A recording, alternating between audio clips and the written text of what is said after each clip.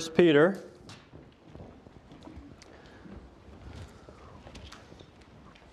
Continuing on in 1 Peter. And we've been looking for the last several weeks on the blessings of salvation. we began in verse 3 in this section where he says, Blessed be the God and Father of our Lord Jesus Christ. And so we began to praise God for salvation. And if we remember the context of 1 Peter, that there was much suffering that was going on. And there was specific suffering, I believe, that was going to come in the lives of these people in this region, but there was also general suffering about which Peter was informing them and encouraging them in. And this type of suffering we all go through today, and we cover that a little bit this morning as we come down to verse 6. But I'd like, if we could, to read from verse 3 right down through verse 7 together. 1 Peter chapter 1, beginning in verse 3 and concluding with the end of verse 7. Let's begin with verse 3. Blessed be the God. Here we go. Blessed be the God and Father of our Lord Jesus Christ, which according to his abundant mercy hath begotten us again unto a lively hope by the resurrection of Jesus Christ from the dead, to an inheritance incorruptible, undefiled, and that fadeth not away, reserved in heaven for you who are kept by the power of God through faith unto salvation, ready to be revealed in the last time, wherein ye greatly rejoice, though now for a season, if need be, ye are in heaviness through manifold temptations, that the trial of your faith, being much more precious than of gold that perisheth, though it be tried with fire, might be found unto praise and honor and glory at the appearing of Jesus Christ. Let's pray. Father, do thank you for your word. Thank you for allow, allowing us to look into it this morning. I thank you for providing these truths for us in your word so that we may understand better how you're dealing with us in our lives and why we go through the things that we do and what our perspective ought to be in the middle of them. We thank you, Lord. We ask your Spirit to use your word in our hearts. We ask these things in Jesus' name. Amen. All right, as we come to this, uh, under the blessings of God and salvation, we want to see some perspectives that, uh, that arise from our salvation, perspectives of life, perspectives that arri- arrive at us from our salvation. The first one is in verses 6 and 7. The second one is in verses 8 and 9. The first one in verses 6 and 7 is our perspective of our trials. The second is in verses 8 and 9, which we won't get to this morning, and that is our perspective of Jesus Christ because in verse 8 he says, Whom having not seen ye love. And he's referring back to the last two words of verse 7, which is Jesus, which are Jesus Christ, the name of Jesus Christ. And so he begins in verses 8 and 9 to remind us of him and what he's done for us in our lives. But in verses 6 and 7, the Lord tells us how our salvation should affect and change our perspective of our trials and our suffering that we go through in our lives. Because we all do go through suffering. So we have to learn how to reconcile those things because when we look at it, we'll be tempted to question God. God, why are you, should you be allowing this in my life? Why are you doing this in my life and not doing this in somebody else's life? Do I deserve this? Do I need to learn this or does that person need to learn it more? Why are you doing this to me? Why are you allowing this in my life? And we begin to sometimes, as Job was tempted to do, stand in judgment of God when really the Lord is using these things for specific purposes in our lives. And so that's what the Lord wants us to see this morning, I believe, from this passage, is our perspective in our trials. And our perspective in our trials as God's people, excuse me, I'm sorry here. I just want to make sure I'm prepared. And you'll have to forgive any uh, sputtering and coughing and sneezing that may come out of me because I'm dealing with some residual.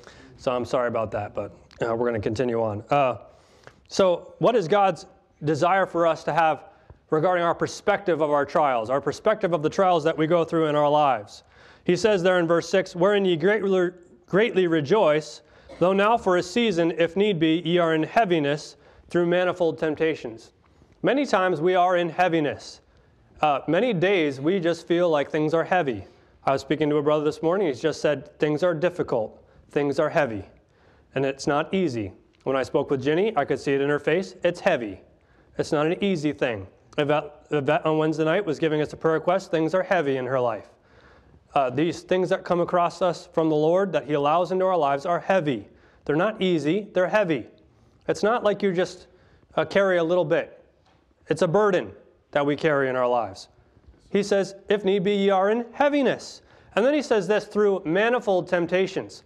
Manifold has the idea of something, there just being many of them and diverse. From all different sides, sometimes these calamities hit us.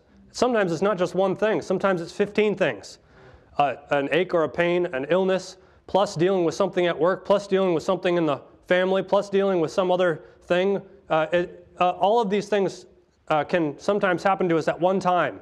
And you know that old saying, uh, when it rains, it pours, right? I like that. And it, and it just seems like it happens. When I see somebody going through a trial, there's probably going to be another one coupled with it. Uh, sometimes the Lord works that way. We're in heaviness through manifold temptations. A lot of things at once sometimes come and hit us. That word manifold has the idea of being many colored, uh, like Joseph's coat of many colors, if you will. Uh, and it's just diverse, but it's all woven together, all at one time.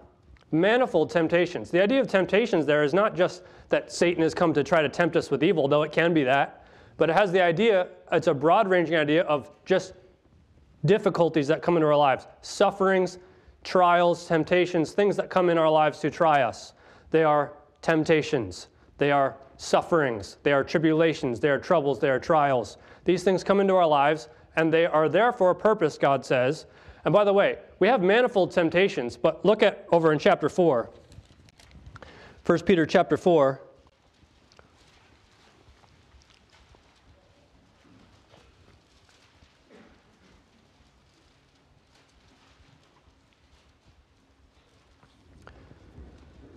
First Peter chapter 4, and in verse 12, he also talks about the fiery trial, as he refers back to chapter 1. But in verse 10, he says, As every man hath received the gift, even so minister the same one to another as good stewards of the manifold grace of God. Same word. And Peter here in, in the context is telling us that we have not only all of these different trials, manifold, many colored trials, but we have a correlating many colored grace of God to deal with those things. Doesn't that sound like Paul? My grace is sufficient for thee, for my strength is made perfect in weakness. And so, Peter and Paul, there's no daylight between their doctrine regarding suffering.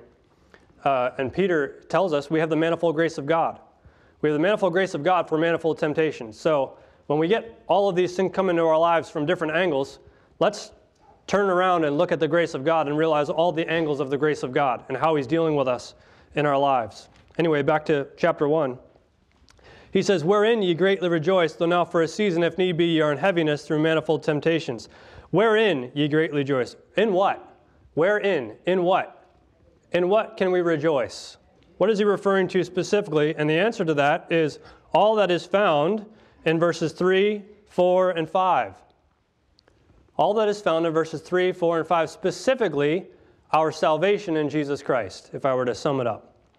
We rejoice in our salvation we don't rejoice in the trial necessarily, glad that we're going to endure this suffering and this suffering and this suffering necessarily, and from this aspect of how we're to deal with our, tri- our trials. What Peter is saying is that we have the opportunity to rejoice in our salvation. And because we rejoice in our salvation and all these different aspects of our salvation, our hope, our inheritance, our holding in the Lord, because we have those things, then I can rejoice in my trial. Because now I know that my trial is not the end of things. I know that my trial has purpose. I know that my trial is less than what I have in Christ. So I rejoice in those things wherein ye greatly rejoice our salvation that's ready to be revealed in the last time. I greatly rejoice in that, though now for a season, if ye need, if need be, ye are in heaviness. So the first point here is, I am, why can I rejoice in my trial, during my trial. Why I am rejoicing in the heaviness of trials. And that's the point that Peter gets across in verses 6 and 7. Why I am rejoicing in the midst of the heaviness of trials. Why I am rejoicing. Why can I rejoice? Why could Paul, Paul and Silas in the jail at Philippi sing praises unto God at midnight? Why could they? Why can we rejoice though we're in heaviness and going through manifold temptations? Number one, because I'm remembering their temporality. Number one, because I'm remembering their temporality. Wherein ye greatly rejoice, Though now, for a season, Brother Steve, for a season, if need be, ye are in heaviness. Though now, for a season, I am remembering their temporality. As I am going through the trial, I must remember its temporality. It's not forever, it's not going to last forever. Because of my great salvation, my inheritance, my hope, and my holding, I can be glad of these things. First, that my temptations are temporary. Notice what Peter says, though now for a season. For the Christian soul, all trials are temporary. All trials are temporary. Contrast this with our inheritance back in verse 4. Our inheritance in the Lord is incorruptible, it's undefiled, and it fadeth not away. It's not temporary, it's permanent. But our trials, our temptations are temporary. Even our trials fade away. They fade away on this earth. Time heals all wounds, we know that statement. And that's true to some degree, that after so much time, the pain from a singular injury can begin to fade. But many of our tribulations on this earth are not punctiliar, but continuing, or the results of them continue. And we know the truism, this too shall pass away. Have you heard that? This too shall pass away. And that again is somewhat true. All the things which we see and experience are temporary, so they will pass away. Psalm 144, verse 4 tells us, Man is like unto vanity, his days are as a shadow that passeth away. This world will pass away, so James 1 tells us, and this very chapter tells us, toward the end of the chapter.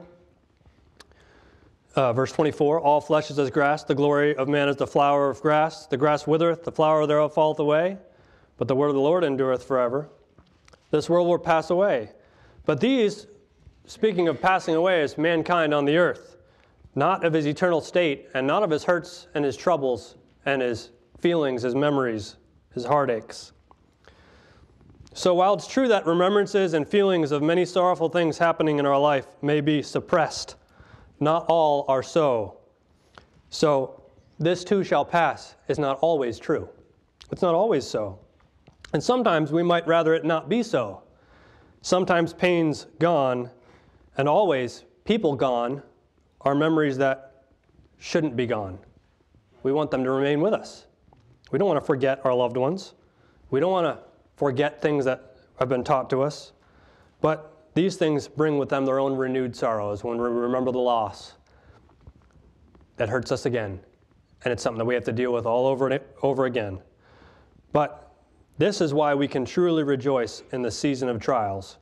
Because these trials which we face, if you're a Christian, are completely temporal. They're still temporal, but only if you're a Christian. Only if you've trusted in Jesus Christ. As believers, we don't look for time to heal our wounds but for the Savior. For our great physician of the body, yes, but chiefly of the soul. Bless the Lord, O my soul, and forget not all his benefits, who forgiveth all thine iniquities, who healeth all thy diseases, who redeemeth thy life from destruction, and crowneth thee with loving kindness and tender mercies. That's Psalm 103, 1 through 4. The book of Revelation tells us that God shall wipe away all tears from their eyes. God shall wipe away all tears from their eyes. Have you shed tears? God will wipe away all tears from your eyes, past, present, and until He comes, future tears that will shed. God will wipe away all tears from our eyes. And He repeats it twice in the book of Revelation for emphasis. Not just once, but twice. The second time in chapter 21, verse 4, he tells us, And God shall wipe away all tears from their eyes, and there shall be no more death, neither sorrow, nor crying, neither shall there any, be any more pain. So, death, the ultimate cause for sorrow, sorrow, things that cause us grief in our lives, and even pain, which can cause us tears, those things will be gone. Anything that could be construed as negative will be gone. It will not exist, it will not be. We won't have the same recognition of them that we have now because it, it won't exist. Imagine it. These terrible things, sorrow, sadness, pain, and death, will be non existent in the New Jerusalem. They won't be. It's not that so much time has passed that we've forgotten our pain, but that our pain will not exist. Only joy in the Lord will exist. Therefore, because our trials are temporary and because our sorrow will be gone, we can begin now in rejoicing. And we have a down payment. We have the Spirit of God. We can begin now in rejoicing. You know, I, I see, especially at Christmas time, these Christian buzzwords, you know, printed out just by themselves, one word, and they'll hang them on signs or whatever. And, uh, and the sad thing is that most people have no idea what they mean. Words like believe. Believe what? Or hope. Or joy. Or peace. Or rejoice and they're just out there because the culture has adopted them from Christianity and from the scriptures because they mean something, because they're valuable to us. They even sound nice, don't they? But for us, they're real. They're not just this vague idea of some kind of wish for good, good things to happen around the Christmas season. It's because of what Christ has done, we have hope, real hope not just a wishful thinking, but a concrete expectation. We have something that is cause for rejoicing, not because we're just happier because circumstances are good, but because we know that at the end of these things we won't have any sorrow. And all the things that cause us grief today won't even exist in eternity. They won't be. We won't have those griefs. I believe in the factual and witness coming of the Lord from heaven in the person of Jesus Christ that he died on the cross to pay my sin debt, and that he rose from the dead the third day, and that he ascended back into heaven. I have a blessed hope, a lively hope, a joyous expectation, not a wish that he's coming again. I know that the beginnings of my heavenly of what my heavenly inheritance consists, and I know that I am being kept by the power of God unto salvation, ready to be revealed in the last time. You know that word rejoice? It's not just rejoice. Notice what he says wherein ye greatly rejoice. Because the word there means to be overjoyed. Overjoyed. So, translated, greatly rejoice. So, we're not just uh, happy about something, we're exultant because of what God has done for us. We have every reason to, opposite the heaviness of our trials and the grief and the burdensome of our trials, we have the opposite true in our lives also, that we can be greatly rejoicing in the Lord. Trials are heavy, there's no doubt about it. Now, I'm not saying you don't feel the grief. We don't feel the grief of our sorrow. Sure, we do. But we should filter the grief of our sorrow as we process it in our lives through the great rejoicing that we have in the Lord Jesus. If we don't, we're going to be depressed. If we don't, we're going to be strapped down. We're going to be burdened down. We have to be able to filter those things in a biblical manner, in a factual manner, spiritually, concerning what the Lord has for us in the future. This was this is what everybody expects at Christmas time. They want joy. They, they, they want joy to be had at Christmas time. But it's true that the holiday season is a season of spiked anxiety, depression, and even suicide. Why? Because people don't get what they're looking for.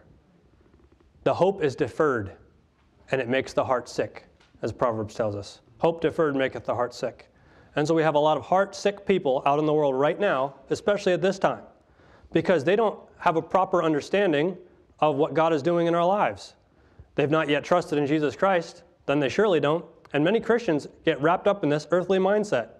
So we look for everything to work out right at Christmas time, and when it doesn't, it's depressing. And it's like the carrot sometimes that is always dangled in front of people, whether it's Christmas or some other thing. It's going to get better here. It's going to get better here. It'll get better now. Well, maybe it won't on earth. And if you're lost, if you've not yet trusted in Jesus Christ, then it never will get better. But if you have trusted in Jesus Christ, then stop looking for that carrot and look to the end. Because there's a lot thing better than a carrot waiting for us. It's our inheritance, our heavenly inheritance. If you're not born again, this will be you at Christmas and in life, always hoping for something better but never finding it. And without the concrete hope, concrete hope of the Christian, and you'll find yourself with a sick heart. But when you're newborn, newborn by the Spirit of God, you're placed into a different strata, one that provides an eternal reward, not a temporal. The Christian's desire, by the way, will most certainly come. That proverb goes on to say, But when the desire cometh, it is a tree of life. When the desire cometh, it is a tree of life. For the Christian, the desire will come. It will arrive to us, and it will certainly be the tree of life The return of our Lord Jesus Christ will not be long deferred. It will not be long deferred. He is coming again. Hebrews 10:37 for yet a little while and he that shall come will come and will not tarry. Yet a little while. Remember that our trials are temporal. In a little while the Lord is coming back or we go home to be with him. In a little while and then we have all eternity to not have any sorrow or tears or crying. The former things will be passed away. But for a moment is what Paul told the Corinthians regarding the sorrows that we have here. But for a moment. They are temporal, they are seasonal. I can rejoice in the heaviness of my trials because I know they are temporal. We can rejoice during tribulation because truly, for the Christian, the best is yet to be. The best is yet to be. It is not here, it is yet to be. But we can rejoice now because of what we have then. All right? They're temporal, but also we can rejoice now because we realize their necessity. I am rejoicing in the heaviness of my trials because I am realizing their necessity. Their necessity.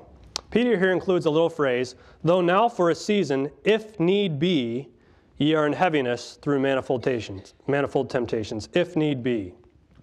If need be.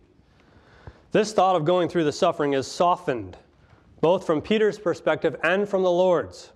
So he puts it in this conditional form, if need be. Peter didn't want to see his former church members, or those additional church members who now populated these churches in this greater region to which he wrote, to have to undergo suffering. He didn't want to see that in their lives. And let me say, as your pastor, I don't want you to undergo suffering. It hurts me when you undergo suffering. I grieve for you. And you know what? Each one of us grieves for each other when we undergo suffering. I was just sick last week, not a great trial. Actually, it was a great trial for me. Don't tell my wife. Uh, you know, she, she thinks that, you know, when I'm sick, I'm, I'm making it up, you know, all this the man flu they call it, you know.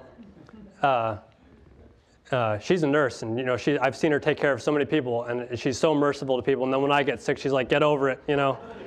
Uh, you're fine."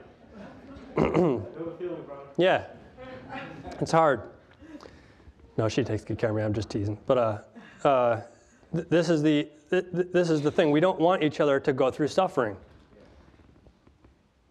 And we're all this way for each other. And many people texted me and uh, sent me an email or note, and some even brought me gifts and dropped it at the front door because I was sick. Just a simple thing, but you showed your care for me because we're members of the same body and because we have the same love one for another. And so, as 1 Corinthians 11 tells us, when one, or excuse me, 12 tells us, when one member suffers, all the members suffer with it. If we're a healthy body, if we have true Christ like love for one another, if we have true unity in the Spirit, we all suffer together as one suffers. the Lord has compassion on us also in our testings. The Lord is very pitiful and of tender mercy, James 5:11 tells us. Hebrews 4:15, for we have not a high priest who cannot be touched with the feelings of our infirmities, but was in all points tempted like as we are, yet without sin.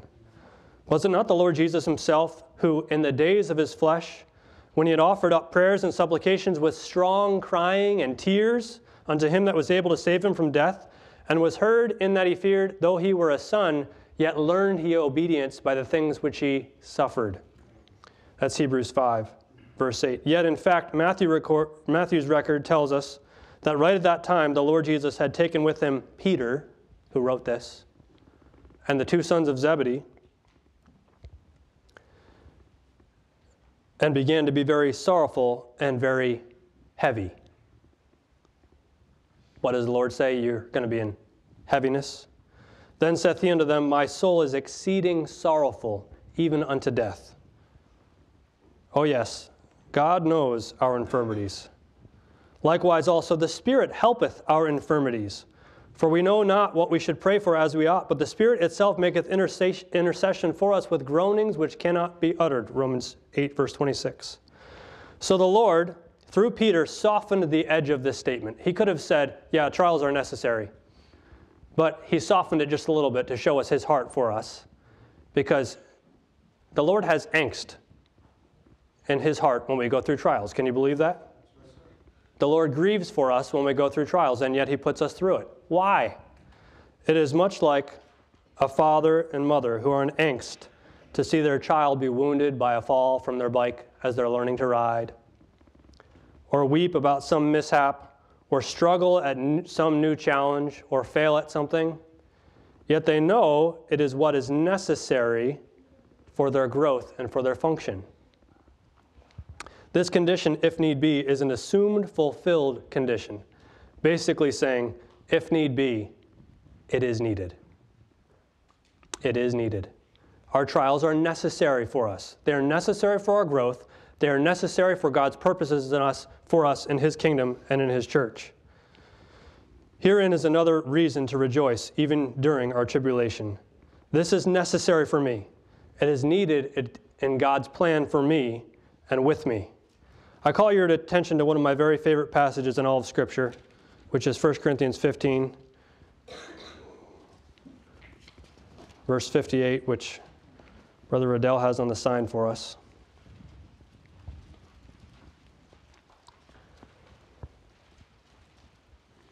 He says in verse 58, Therefore, my beloved brethren, by the way, therefore is the reason I like verse 58 because of the whole chapter. But uh, we have the victory in Christ Jesus. That's why I like it. Verse 57 Therefore, because we have the victory in Christ Jesus, therefore, my beloved brethren, be ye steadfast, unmovable always abounding in the work of the Lord, for as much as you know that your labor is not in vain in the Lord. Your labor is not in vain. In other words, it's not worthless. It's not in vain. And what does he say? Your labor. He's not just talking about taking out the trash, although that could be included in it.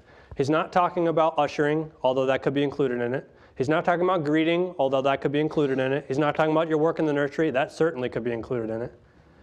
But he's talking about heavy trials when he says labor labor. That is kopos. It means trouble, difficulty, exhaustion, even a striking or beating. In fact, the Septuagint translated this from Jeremiah to indicate the beating of the chest because I'm going through so much difficulty. That's what the word labor means there. Difficulty, exhaustion in the battle, exhaustion in the work. And sometimes we think it's not worth it, I want to give up. No, it's not in vain. It's not in vain. It's not purposeless. It has purpose. It's not in vain. It is not without purpose. It is necessary for you and for you in God's plan. So I can rejoice also in my trials because I realize their necessity. I know they're temporal. I realize that they're needed. I realize their necessity. But number three, I can rejoice in my trials because I am reckoning their value. I am reckoning their value or acknowledging their value. I am seeing their value.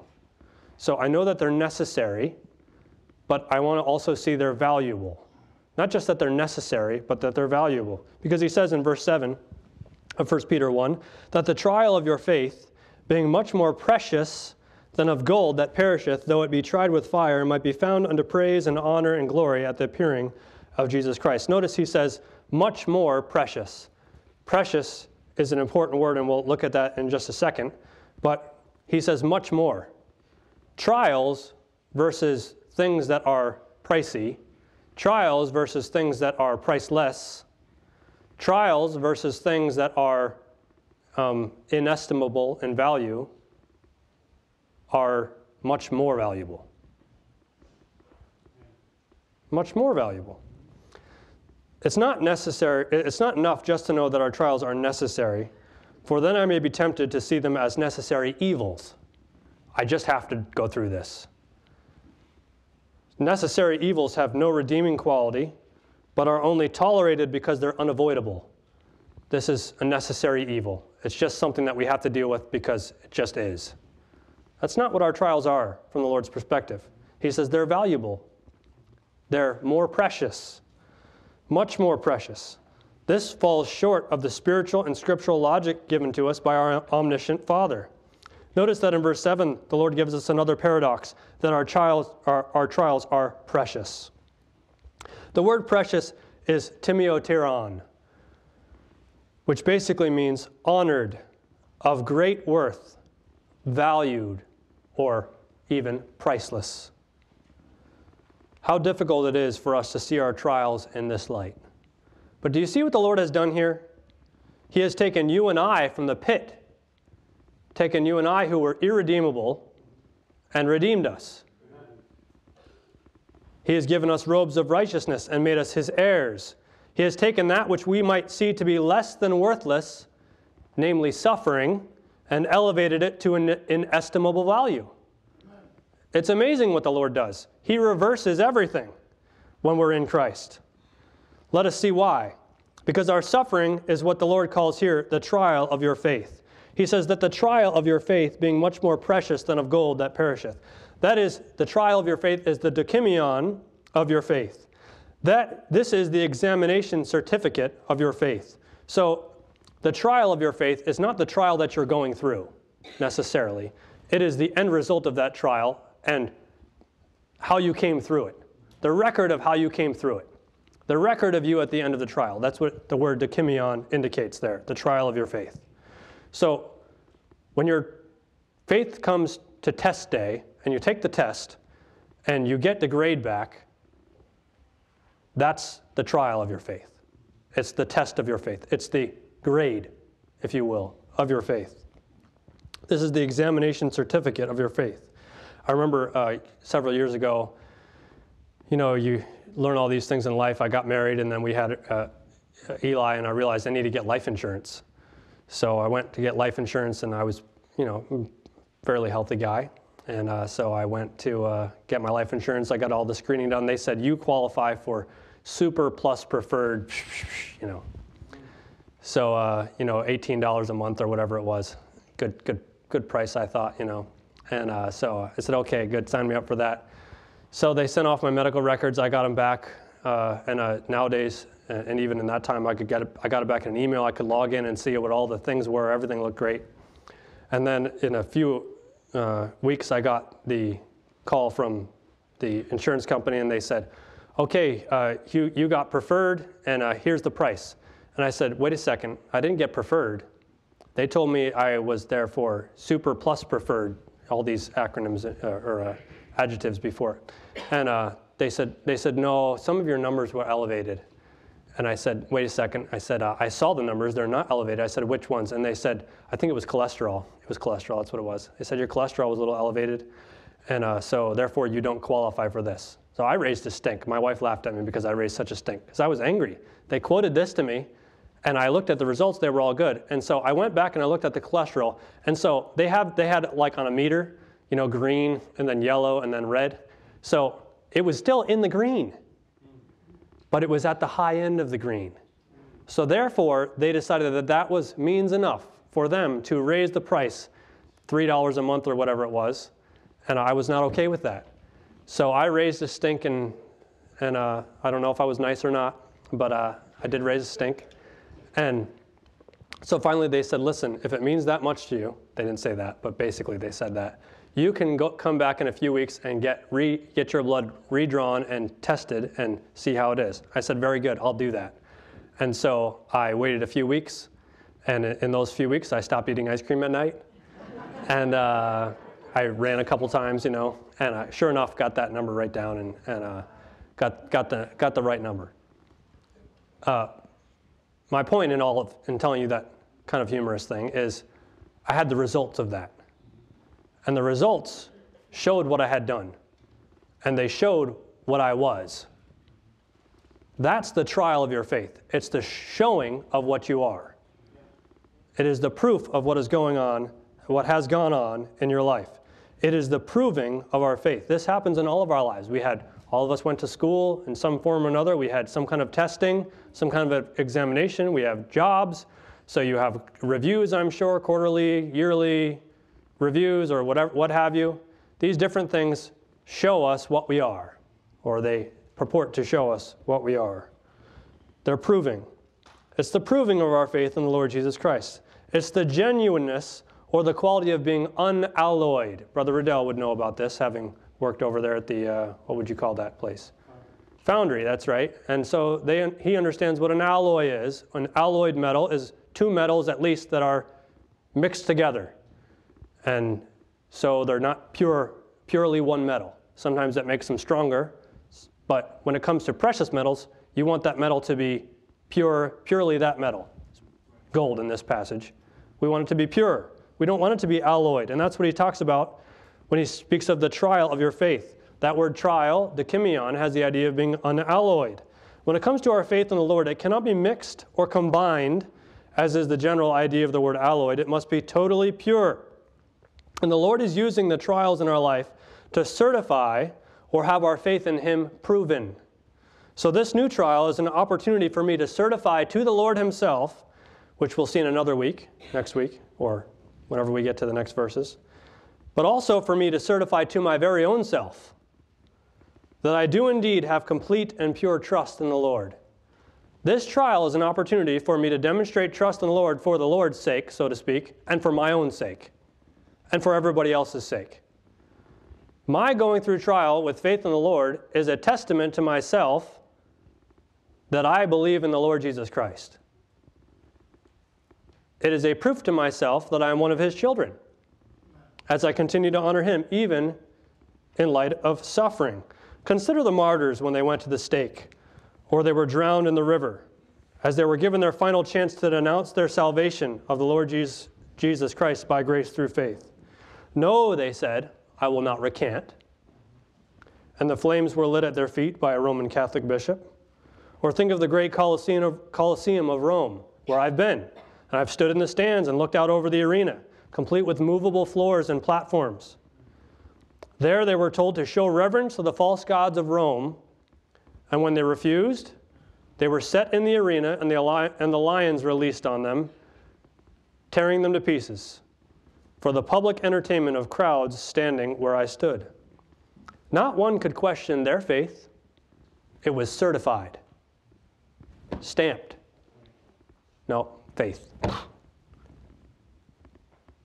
If they can, to that extent, in that, why not I in this? Notice the Lord says that gold perisheth. Now, physically speaking, that isn't necessarily true.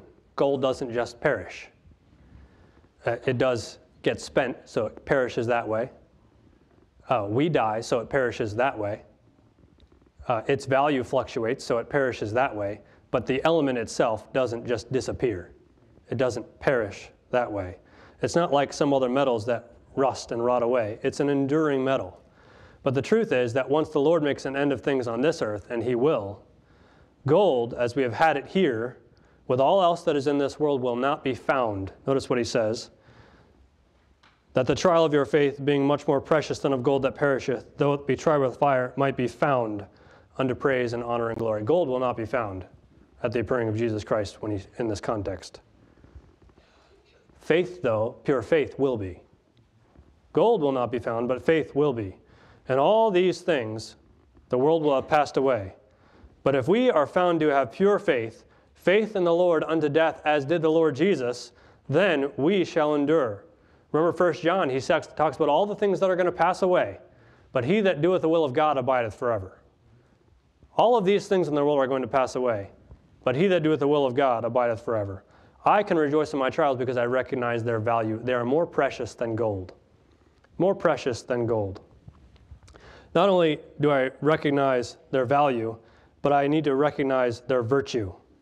I can rejoice in my trial because I recognize their virtue. In other words, how good they are. Not just how valuable they are, but how good they are, their virtue. Notice the next phrase. He says, though it be tried with fire. Though it be tried with fire. Here the Lord is speaking again of the gold. So we're not out of the value spectrum, but we're talking about the goodness of it, the virtue of our trials. He's speaking again of the gold, but not of its perishing. Here he's speaking of its purifying. And he uses a similar word, but different. In the, in the first word, trial of your faith in verse 7, uh, right at the beginning of the verse, that's dokimion. But here, when he says, though it be tried, so trial and tried are words that are close to one another. Trial is dokimion. Here is dokimazo. In the first, the Lord is emphasizing the grade or the diploma, what is seen at the end. But in the second, he is emphasizing the administering of the test, the going through of the test. And this is what the Lord does in each one of our lives. He smelts us down.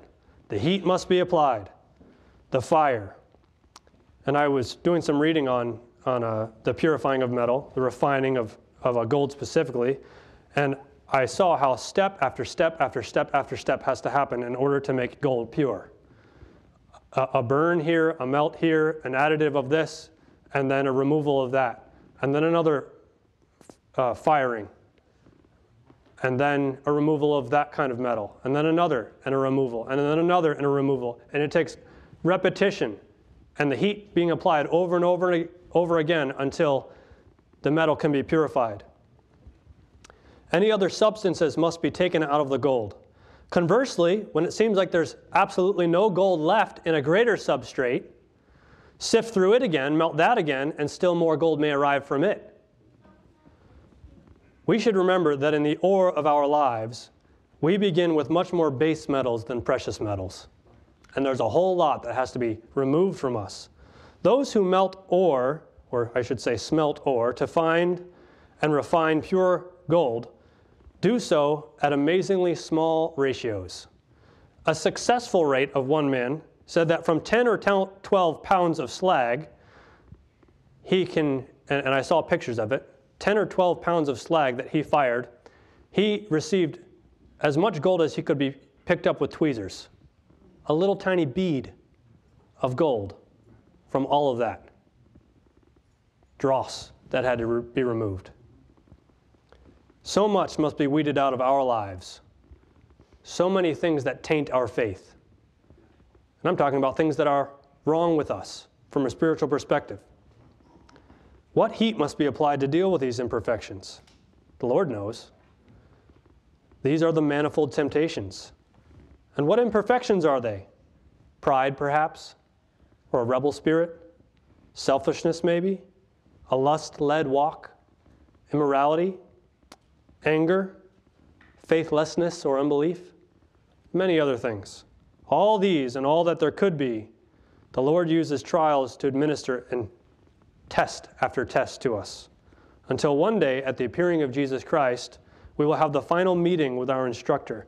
The final meeting with our instructor. So I rejoice that in that day, because of the suffering which I here undergo, that I'll be able to be found, not by surprise and not unprepared. Notice that word here. He says, Though it be tried with fire, it might be found unto praise and honor and glory at the appearing of Jesus Christ.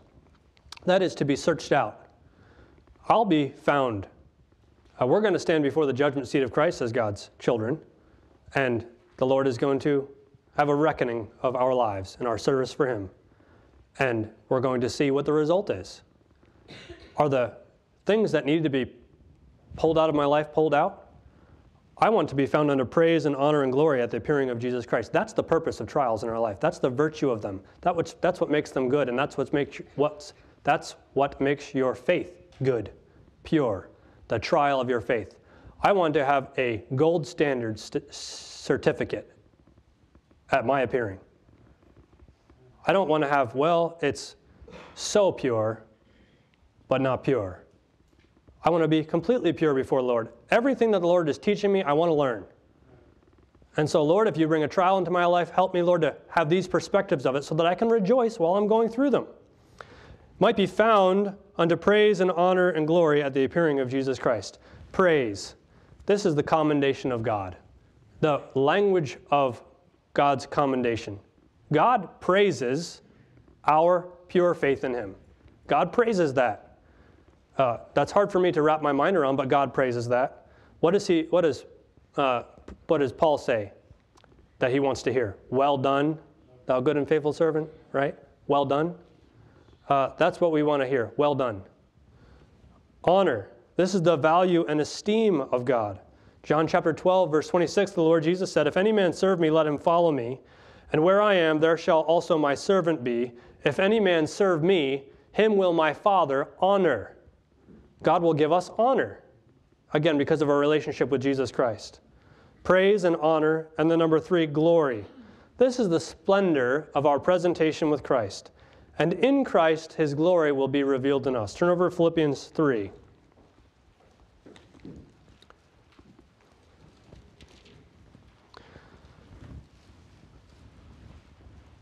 Verse 20.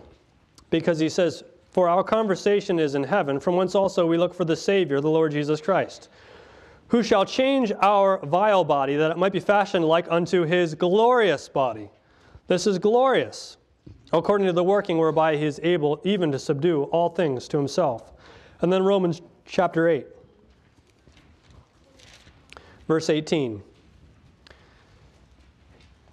A verse we, uh, actually, we want to be in verse 17. Begin there.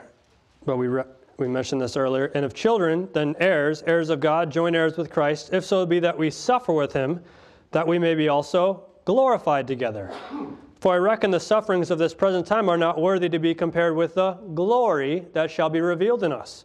This is the splendor of our presentation with Christ, His glory revealed in us at this time. I do believe this. I believe that there are degrees of these things being worked out in our lives. And as we come through the, the, uh, the uh, book of 1 Peter and get into, even in 2 Peter, I'll bring those points out. Uh, but if we don't serve the Lord in the way that He wants us to, we are going to suffer loss. But if we honor the Lord in the way that He instructs us to, and if we demonstrate faith in Him, we're going to receive rewards. That's God's principle in 1 Corinthians chapter 3. I am rejoicing in the heaviness of trials, number one, because I'm remembering their temporality. Number two, because I realize their necessity. Number three, because I reckon I am reckoning their value. And number four, because I am recognizing their virtue. And if we have these perspectives of our suffering in our mind, that they are temporal, that they're needed, that they're valuable, and that they're virtuous. If we have those perspectives of our trials, it doesn't take away the heaviness of the trial, but it enables us to rejoice in the trial. And that's what God, where God wants us to be. Psalm 119, verses 71 and 72. It is good for me that I have been afflicted, said the psalmist. It is good for me that I have been afflicted, that I might learn thy statutes. The law of thy mouth is better unto me than thousands of gold and silver. Let's pray. Father, I thank you for how you work your will in our lives. And I thank you for how you bring trials and suffering into our lives to teach us things. And, how, and you bring these things also in our lives to use us in the lives of others. And so I pray, Lord, that you'd continue to work these things out in us. You know, we don't want to go through suffering. We don't desire suffering. We pray to remove ourselves from suffering, but if need be, when you bring them into our lives, we know that they're necessary from you. So, Lord, I pray that you'd help us to learn the lessons. I pray that you'd help us to come forth as gold. Help us, when we are tried, to come forth as gold, as Job stated, Lord. We thank you for your word, and I thank you for the, the ability that we have to rejoice, even though, if need be, for a season, we're in heaviness through manifold temptations. I pray that you'd encourage each heart here this morning with these words. We ask these things in Jesus' name. Amen.